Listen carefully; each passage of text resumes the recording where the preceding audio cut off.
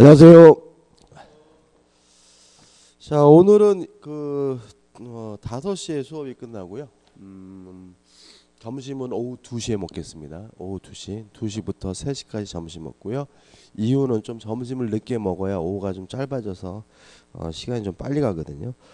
자 페이지 96페이지 하자 있는 의사표시입니다. 일단 사기 강박에 의한 의사표시인데 법조문을 먼저 읽어보면 110조 1항입니다. 사기나 강박에 의한 의사표시는 취소할 수 있다고 사망부터 보시면 사망 전 2항의 의사표 취소는 선의의 제3자에게 대항하지 못한다 이렇게 되어 있죠. 다시 말하면 사기나 강박을 당했으면 취소할 수 있고요. 다만 어, 선의의 제3자에게 뭐하지 못하죠? 대항하지 못한다 이런 얘기거든요. 아, 우측에 보시면 이제 사기에 의한 의사표시 나오는데 정리를 하면 돼요. 사기가 뭐냐면 기망 속였더니 넘어가서 착오를 일으키고요. 그 착오에 의해서 일정한 의사를 표시하게 되면 이게 사기에 의한 의사 표시가 됩니다. 요 개념에서 우리가 알 수 있는 것은 뭐냐면 요 사기도 어차피 착오에 의한 의사 표시라는 점입니다. 그죠? 따라서 사기를 당한 사람은 착오를 이유로 취소하거나 사기를 이유로 취소하거나 뭐 할 수 있죠? 선택할 수 있다는 걸 알 수가 있고요. 그 다음에 사기에 의한 의사표시가 되려면 첫째 반드시 기망이 존재해야 된다. 왜냐하면 기망이 없다면 그것은 사기가 아니라 착오에 의한 의사표시이기 때문에 그렇고요.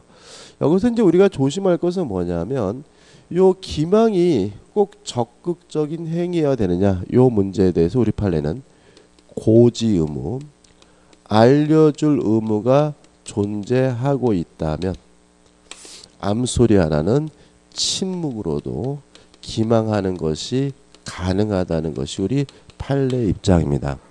다시 말하면 암소리 하나는 침묵도 뭐가 될 수 있어요? 기망이 될 수 있고 사기가 될 수 있는데 다만 침묵이 기망이고 사기가 되려면 뭐가 필요한 거죠? 고지 의무가 필요하다. 이렇게 되는 거죠. 그 다음에 두 번째로 어, 위법해야 됩니다. 모든 기망, 속이는 것이 다 사기인 것은 아니고 위법해야지만 비로소 사기가 되는데 요 위법에 대해서 우리 판례는 이런 표현을 쓰고 있습니다. 비난 가능성의 존재죠. 다시 말하면 그 기망이 비난할 정도야 위법하고 비로소 뭐가 되는 거죠? 사기가 되는 거죠. 따라서 상가를 분양하는 사람은 장사가 잘 된다고 말하는 것이 뭐예요? 인지상정이기 때문에 장사가 잘 된다라고 하길래 믿고 분양을 받았는데 장사가 안 되더라도 뭐가 아닙니까? 사기가 아니다. 이런 얘기 되는 거죠. 그 다음에 세 번째로 음, 고의여야 됩니다. 음, 따라서 고의여야 된다는 말은 과실로 기망한 것은 뭐가 아니죠? 사기가 아니다. 예를 들어서 그림을 팔았거든요. 근데 그 그림이 나중에 어, 위조된 변조된 위조된 그림이라는 사실이 밝혀졌어요. 그것이 사기가 되려면 팔 당시에 파는 사람도 알면서 고의로 위작인데도 불구하고 진품이다라고 했어야 비로소 사귄 거고요. 만약에 파는 사람도 가짜인지 몰랐다면 그것은 과실로 기망한 것이기 때문에 뭐가 있냐면 사기가 아닙니다. 그 다음에 이 고의는 2단의 고의해야 됩니다. 2단의 고의라는 말은 기망을 해서 착오를 일으키겠다는 1단계의 고의만으로는 부족하고요. 그 착오를 일으킨 사람으로부터 일정한 의사표시를 받겠다라는 2단계 고의가 필요하다는 게 판례 입장이고요. 네 번째로 인과관계가 필요합니다. 원래 인과관계라는 말은 요 세 가지 요건이 연결돼야 된다는 거거든요. 기망 기망으로 인해서 착오를 일어나고 착오로 인해서 의사표시를 해야 돼요. 만약에 기망이 아니라 다른 것 때문에 착오를 일으켰다면 그것은 인과관계가 결여됐으니까 사기가 아닌데 기억할 것은 이 인과관계는 굳이 객관적일 필요는 없다. 주관적인 것만으로도 충분하다는 것이 우리 판례 입장입니다. 다시 말하면 객관적일 필요가 없다라는 말은 일반인이 봤을 때 넘어갈 정도가 아니라 하더라도 그것이 뭐가 될 수 있어요?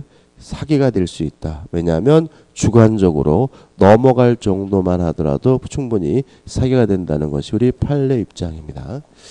위에 잠깐 보시면 97페이지 하단부터 뭐가 나오냐면 핵심 판례가 나와요. 2014년도 판례가 나오죠. 넘겨보시면 꽤 긴데 어, 이런 겁니다. 한번 생각해 보죠.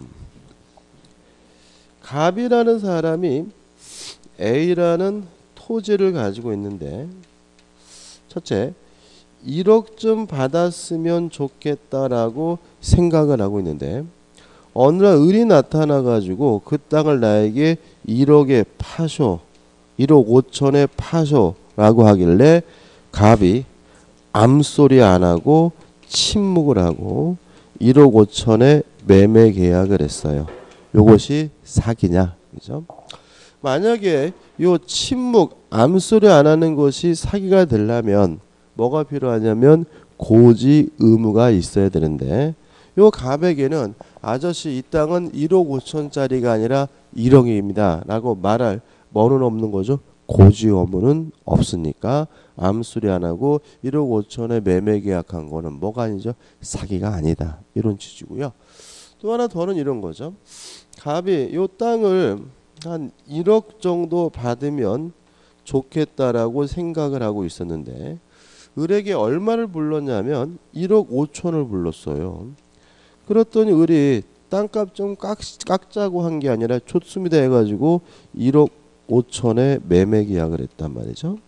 그럼 여기서 1억짜리 땅을 1억 5천이라고 얘기한 것은 명백히 이건 뭐죠? 기망인 거죠. 근데 이것이 사기냐? 아니다 이것도. 왜냐하면 한 푼이라도 더 받으려고 하는 것이 뭐예요? 인지상정이고요. 따라서 1억짜리를 1억 5천 부른 것이 비록 기망이라 하더라도 뭐하지 않습니까? 위법하지 않기 때문에 뭐가 될 수 없어요? 사기가 될 수가 없다는 취지의 판례들인 거죠. 그 다음에 3번 기망이가 위법해 가지고 핵심 판례도 지금 말씀드린 내용과 거의 유사한 판례가 또 나와 있고요. 우측에 보시면 핵심 판례 가지고 줄쳐 있고 그런데 간단히 말씀드리면 이런 거죠. 위법하려면 뭐가 필요한 거죠? 비난 가능성이 존재해야 된다. 따라서 상가를 분양하는 사람이면 장사가 잘 된다라고 말하는 것이 뭐죠? 인지상정이고 따라서 장사가 잘 될 거다. 월 얼마는 충분히 벌 수 있을 거다라고 말했고 그것이 기망이라 하더라도 뭐 하지 않습니까? 위법하지 않기 때문에 사기가 아니라는 판례가 나와 있고요. 넘겨 보시면 인과관계 나와 있고 효과가 나와 있는데 효과는 음, 취소할 수 있잖아요. 자, 그럼 한번 생각해 보죠. 갑이 을과 만나 가지고 매매 계약을 했는데 을이 갑에게 사기를 쳤어요. 그러면 당연히 갑은 을과의 매매 계약을 뭐 할 수 있습니까? 취소할 수 있겠죠. 이건 뭐 어려움이 없어요. 이게 뭐죠? 1. 상대방이 사기를 한 경우죠. 근데 문제가 되는 것은 이런 경우죠. 갑이 을과 만나 가지고 매매 계약을 했는데 병이 갑에게 사기를 쳤어요. 이랬을 때 요 매매 계약을 취소할 수 있느냐? 문제는 뭐냐면 병이 갑에게 사기 쳤다는 이유로 을과의 매매 계약을 취소하게 되면 피해를 보는 사람이 사기 친 놈이 아니라 뭐죠? 엉뚱한 누구죠? 을이라는 문제가 있는 거죠. 그래서 우리 판례, 우리 민법은 상대방을 보호할 필요가 없을 때 상대방이 알았거나 알 수가 있었을 경우에만 갑은 사기 강박을 이유로 취소하는 것이 가능하다라고 민법에 규정을 두고 있습니다. 다시 말하면 상대방이 아닌 제3자가 사기를 쳤으면 언제만 취소할 수 있죠? 상대방이 알았거나 알 수 있어야지만 뭐 할 수 있어요? 취소할 수 있어요. 그럼 역으로 말하면 만약에 을이 선이이고 무과실이라면 갑은 을과의 매매 계약을 뭐 할 수 없어요? 취소할 수 없겠죠.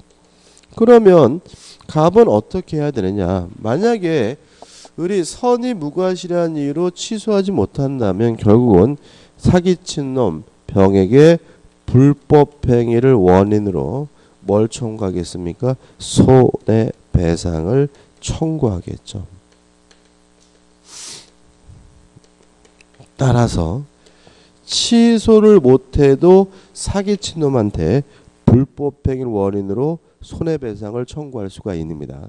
따라서 손해배상을 청구하기 위해서는 반드시 취소를 해야 한다. X.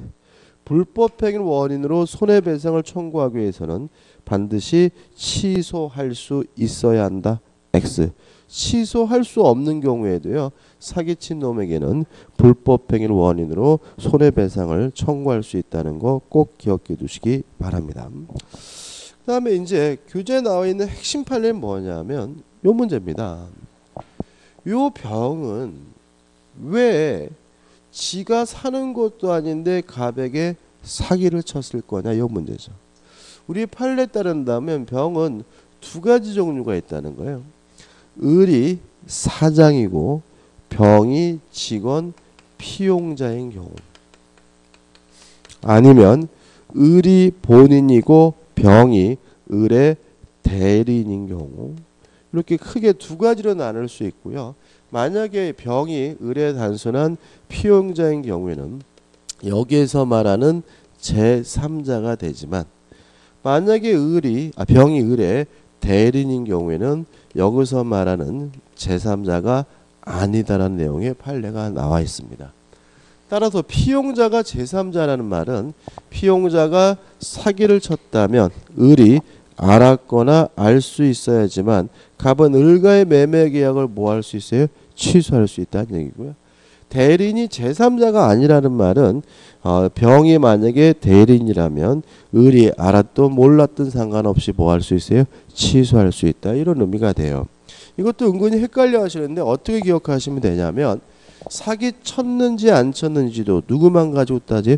대리인만 가지고 따지는 거다. 따라서 대리인이 사기 쳤다면 본인이 알도 모르든 상관없이 뭐 할 수 있어요? 취소할 수가 있다. 이렇게 기억하시면 됩니다. 끝이죠. 그 다음 우측 하단에 보시면서 한번 제3자에 대한 관계에서 선의 제3자에게 뭐하지 못해요? 대항하지 못하고요. 넘겨보시면 판례가 나오는데 그닥 중요한 판례는 아닙니다. 자 판례 밑에 이제 뭐가 나오죠? 강박에 의한 의사표시가 나오고 있죠. 강박에 의한 의사표시는 뭐냐면요. 강박 해악을 고지했더니 그 강박으로 인해서 공포심을 느끼고요. 그 공포심에 기해서 일정한 의사를 표시하게 되면 이게 뭐죠? 강박에 의한 의사표시고 강박에 의한 의사표시도 사기와 마찬가지로 뭐 할 수 있죠? 취소할 수 있고 선의 제3자에게 대항하지 못합니다. 요건을 보면 일단 강박이 존재해야 되는데 강박이라는 말은 뭐냐면 해악을 고지한다. 나쁜 짓을 고지한다. 예를 들어서 때려 죽인다.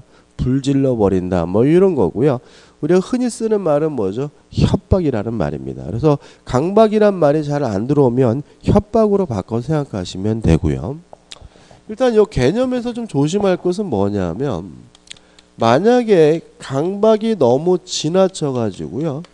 의사 결정의 자유가 완전 박탈된 상태로 평가된다면 이때는 무효라는 것이 우리 판례 입장입니다. 여기서 이제 우리가 왜 무효인지 이유를 좀 기억해 두셔야 되는데요.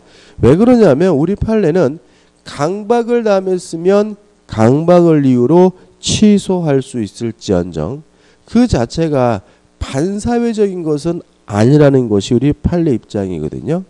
따라서 의사 결정의 자유가 완전 박탈된 상태로 평가되는 경우에는 무효인 이유는 뭐냐면 반사회적에서 무효인 것이 아니라 의사 무능력자와 다름이 없기 때문에 의사 무능력자와 유사하기 때문에 무효가 된다는 것이 우리 판례 입장임을 주의하시기 바랍니다. 자 이런 얘기죠. 제가 길을 가는데 누가 몽둥이를 들고 아저씨 3만 원만 줘 그런단 말이죠. 그 말은 3만 원 안 주면 좁혀겠다는 뜻이잖아요. 강박을 하는 거죠. 그래서 제가 두드려 맞을까 보면 어떻게 해요? 공포심을 느끼고 있는데 그래도 고민하겠죠. 몸으로 때울까 3만 원을 줄까? 고민하다가 뒤지게 아플 것 같아 줬다면 그거는 뭐예요? 강박에 의한 의사 표시인데 이놈이 손에 들고 있는 것이 몽둥이가 아니라 사심이라면 얘기가 다르다는 거예요. 사심이라면 그때는 고민이 안 되는 거죠. 저는 3만 원 뭐 하고 싶은 거죠? 꼭 주고 싶은 거죠. 그러면 목에 칼이 들어왔을 때는 스스로 제가 뭘 못해요? 의사 결정을 못하는 거예요. 따라서 목에 칼이 겨눠져 있다 의사 결정의 자유가 완전 박탈된 상태라면 무엇과 다름이 없어요? 의사 무능력자와 다름이 없기 때문에 취소할 수 있는 정도가 아니라 아예 무효가 된다는 것이 우리 판례 입장입니다. 그 다음에 두 번째 이러한 강박이 뭐 해야 되냐면 위법해야 돼요. 물론 여기서 위법도 비난 가능성의 존재를 말하는데요. 위법이 둘로 나뉩니다. 강박은 첫째 행위나 수단이 부당하다면 그것이 정당한 이익을 취득할 목적이었더라도 위법한 강박으로 평가됩니다. 반대로 행위나 수단이 정당한 경우에도 만약에 그것이 부정한 이익을 취득할 목적으로 이루어졌다면 위법한 강박으로 보고요. 행위나 수단이 정당하다고 할 때 나오는 것이 뭐냐면 고소 고발입니다. 그럼 이렇게 되는 거죠. 고소 고발과 같은 행위나 수단이 정당하더라도 부정한 이익을 취득할 목적이면 뭐가 되죠? 위법한 거죠. 얘는 간단합니다. 을이 갑에게요 1억을 빌려줬어요. 1억을 빌려주고 1억을 돌려받는 것은 뭐죠? 정당한 이익인데 만약 을이 갑에게 안 갚으면 때려주겠다. 흙냄새 맡을 줄 알아라. 뭐 이딴 식으로 해가지고 돈을 받아냈다면 뭐가 부당하기 때문에 행위나 수단이 부당하기 때문에 뭐가 되는 거죠? 위법한 강박이 되는 거고요. 근데 만약에 을이 갑에게 돈 안 갚으면 고소하겠다고 했어요. 고소하겠다고 해가지고 1억을 받아냈다면 행위나 수단도 뭐죠? 정당하고 또 돈 받은 것도 뭐죠? 정당한 이익이니까 아무 문제가 없는데 고소하겠다고 해가지고 플러스 알파 해가지고 돈을 더 뜯어냈으면 그때는 부정한 이익을 목적으로 했으니까 뭐가 되죠? 위법한 강박이 됩니다. 그래서 보통 우리가 뭐, 뭐 강제 추행을 당했다, 성추행을 당했다 해가지고 고소하겠다고 해가지고 합의금을 받아냈어요. 그러면 이것이 위법한 강박인지 아닌지를 판단하는 기준은 이 합의금의 뭐죠? 적정성에 만약에 지나치게 많이 뜯어냈다면 뭐가 되는 거죠? 부정한 이익이 되니까 고소하겠다고 해서 합의금 뜯어내는 것이 뭐가 돼요? 위법한 강박이 되고요. 여러 가지 상황을 종합했을 때 이 합의금이 적정한 것으로 평가된다면 그때는 뭐죠? 아무런 문제가 없는 것으로 평가된다는 거 주의하시기 바랍니다. 그 다음에 세 번째로 고유해야 됩니다. 따라서 과실로 상대방에게 공포심을 주더라도 강박에 의한 의사표시 될 수가 없고요. 요 고의도 2단의 고의여야 합니다. 무슨 말이죠? 강박을 해서 공포심을 일으키겠다는 1단계의 고의만으로는 부족하고요. 그 공포심을 일으키고 있는 사람으로부터 일정한 의사표시를 받겠다라는 2단계의 고의가 필요하고요. 네 번째, 인과관계도 사기와 마찬가지로 굳이 객관적일 필요는 없습니다. 주관적인 것만으로도 충분하다는 것이 우리 판례 입장입니다. 그래서 우리 판례 중에는 벼락맞아 뒤지라는 판례가 있어요. 이게 뭐냐면 점을 보러 갔어요. 점을 보러 갔더니 점쟁이가 뭐라 그러냐면 벼락 맞아 뒤질상이라는 거죠. 일반적으로 봤을 때는 뭐 그거 가지고 무수할 일은 아닌데 그러니까 객관적으로 뭐가 없는 거죠? 인과관계가 없는 거잖아요. 근데 이분은 진짜로 벼락 맞을까 무서워서요. 외출도 못 하셨고요. 또 벼락을 안 맞기 위해서 점쟁이를 통해 가지고 뭐까지 했냐면 국까지 했어요. 그러면 했어요. 그럼 뭐가 되는 거죠? 인과관계가 있으니까 요것도 뭐죠? 율법한 강박입니다. 효과는 사기하고 똑같아요. 상대방이 강박을 쳤으면 취소할 수 있고 취소를 가지고 선의의 제3자에 대항하지 못하고요. 다만 상대방이 아닌 제3자가 강박을 했으면 상대방이 알았거나 알 수 있어야지만 뭐 할 수 있어요? 취소할 수 있고 상대방이 선이고 무과실이면 뭐 하지 못해요? 취소하지 못한다. 다만 취소를 못하더라도 강박을 한 놈에게는 불법행위 원인으로 손해배상을 청구할 수가 있고요. 마지막으로 이 강박을 한 사람이 피용자라면 제3자지만 대리는 제3자가 아니므로 대리인이 강박을 한 경우에는 본인이 알든 모르든 상관없이 뭐 할 수 있죠? 취소할 수 있다는 것까지 기억해 두시면 됩니다. 오른쪽 하단에 보시면 대표 예제가 있죠. 풀어볼게요.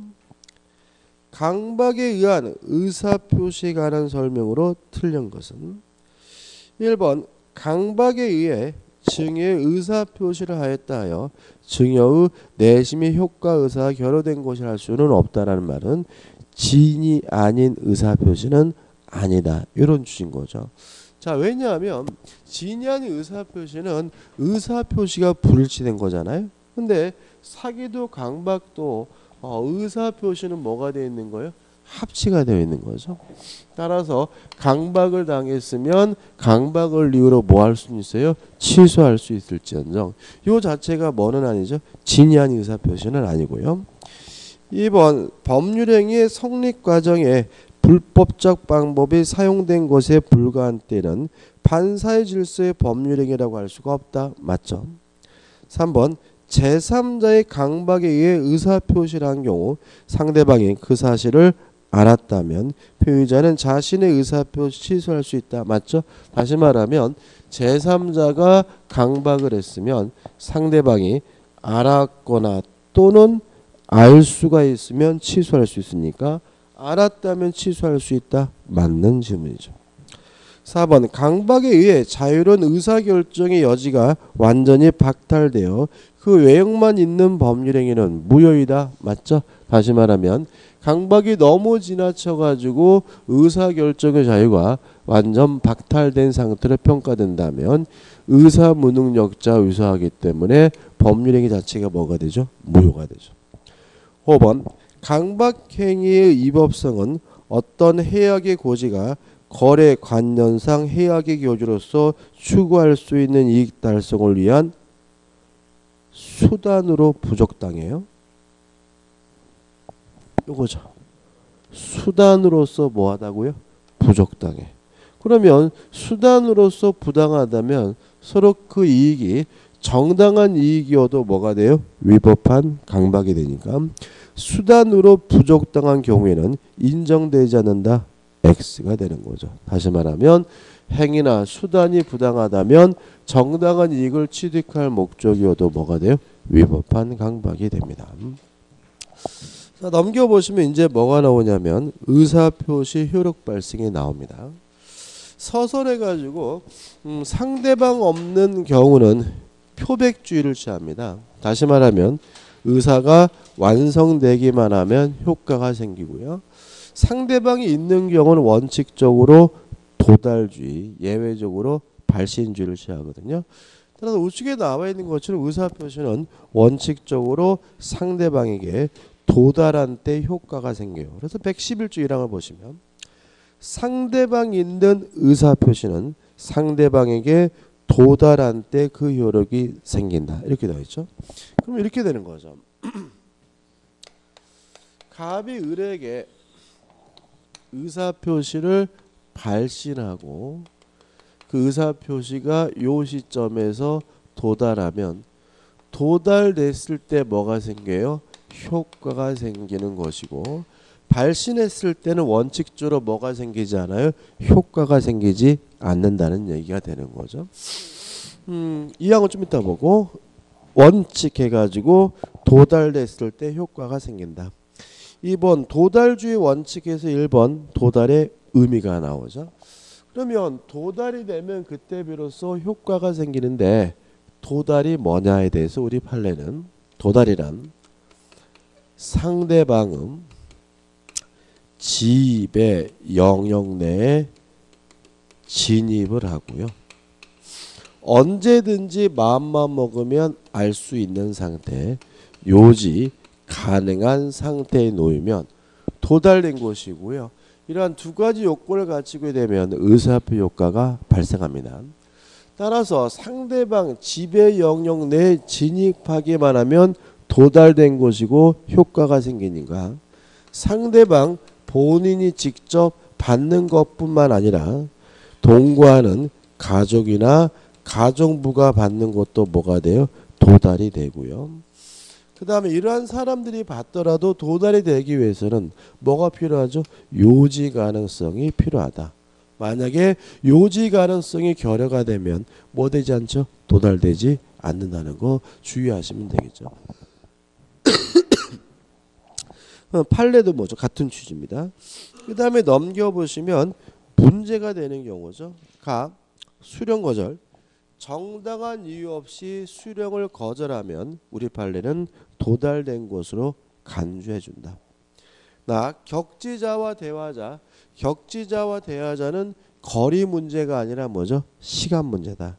따라서 의사 표시를 발신하자마자 바로 도달하게 되면 대화자 발신 후 도달하기 위해서 일정한 시간의 경과가 필요한 것은 뭐죠? 어, 대화 아, 격지자 이렇게 되는 거고 그 다음에 다번 입증 책임에서 뭐가 나오냐면 핵심 판례가 나와요. 자 이런 문제죠. 지배 영역 내 진입하고 요지 가능성이 있어야 도달되는데 요거를 누가 입증을 하느냐 요 문제에 대해서 우리 판례는 일단 도달을 주장하는 자가 입증을 합니다. 따라서 만약에 을 상대방이 도달을 주장한다면 상대방이 입증하고요. 갑 표자가 주장한다면 표자가 입증하면 되는데 문제는 갑 입장에서는 도달됐다는 사실 입증하는 것이 대단히 어렵기 때문에 뭐가 필요하냐면 내용 증명 우편이랑 등기 우편이 필요한 거죠.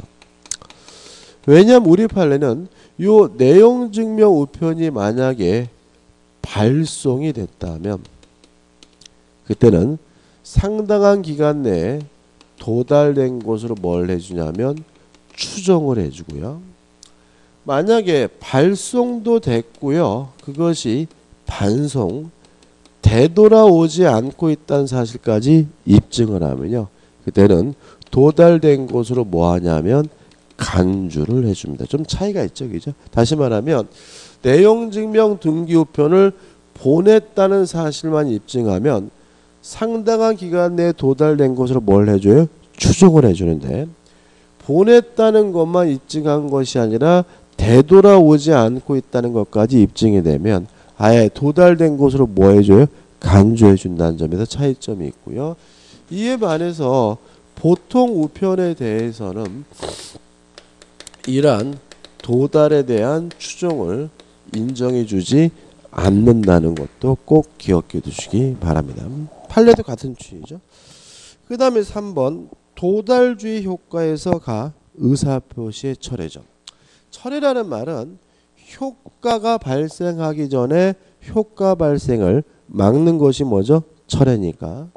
도달이 돼서 이미 효과가 발생했다면 더 이상 뭐 하지 못해요? 철회하지 못하고요. 발신 후 도달하기 전에는 아직 뭐가 없어요? 효과가 없으니까 뭐 하는 것이 가능하죠? 철회하는 것이 가능하다. 다시 말하면 도달되기 전까지는 철회할 수 있지만 도달된 후에는 뭐 하지 못해요? 철회하지 못하고요. 나번 의사표시가 연착됐다 불착됐다 누가 책임을 집니까? 표의자가 책임을 지고요. 우측의 답은 발신 후에 뭐가 나오죠? 사정 변경이죠. 자, 이런 문제입니다. 발신 후 도달하기 전에 요 사이에 갑 표의자가 사망을 하거나 또는 제한 능력자가 되더라도 아무런 영향을 미치지 않아요.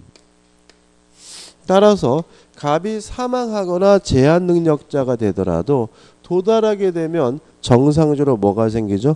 효과가 생기게 된다. 아주 시험에 잘 나오니까 꼭 기억해 두시고요. 그 다음에 이제 예외에서 뭐가 나오죠? 발신주의가 나오죠. 다시 말하면 의사표시를 원칙적으로 도달하게 되면 효과가 생기는 것이 원칙이에요. 다만 예외적으로 발신주의를 취하는 경우가 있거든요. 다시 말하면 예외적으로 발신만 하면 의사표 효과가 발생하는 경우가 있는데 총 몇 가지가 나와 있냐면 다섯 가지가 나와 있죠. 근데 이거 크게 두 가지입니다. 이게 첫째 답장이 발신주입니다. 답장.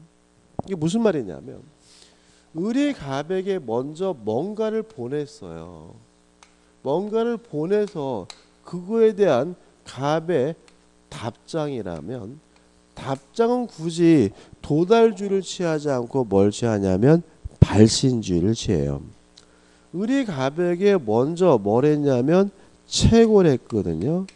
그 채고에 대해서 갑이 답장인 확답을 했다면 이거는 뭐가 되냐면 발신주의다 이렇게 되는 거고요.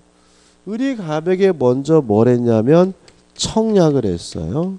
청약에 대한 답장인 승낙은 뭐가 되냐면 발신주의다 이렇게 되는 거죠. 그 다음에 두 번째는 사원총의 소집 통지입니다. 그래서 크게 두 가지입니다. 답장과 사원총의 소집 통지가 발신주의고 특히 최고에 대한 답장인 확답과 청약에 대한 답장인 승낙이 뭐죠? 발신주의다. 이렇게 정리하면 되겠죠. 그 다음에 3번 공시 송달해 가지고 113조가 나와 있죠. 제가 한번 읽어보면 표자가 과실 없이 상대방을 알지 못하거나 상대방의 소재를 알지 못하는 경우에는 의사표시는 민사소송법 공시송달의 규정에 의하여 송달할 수 있다. 음, 그럼 여기서 우리가 뭘 할 수 있냐면 공시송달에 관한 구체적인 내용은 민법이 아니라 민사소송법인 거죠. 시험에 안 나온다는 얘기죠. 그럼 우리는 요 130, 113조 언제 공시송달하는지만 알면 되는데 언제 하냐면 과실 없이 상대방을 알지 못하거나 과실 없이 상대방의 소재를 알지 못하는 경우에 뭐 합니까? 공시송달을 한다. 이것만 기억하시면 됩니다. 그 다음에 넘겨보시면 뭐가 나오냐면 의사표시의 수령 능력이 나와요.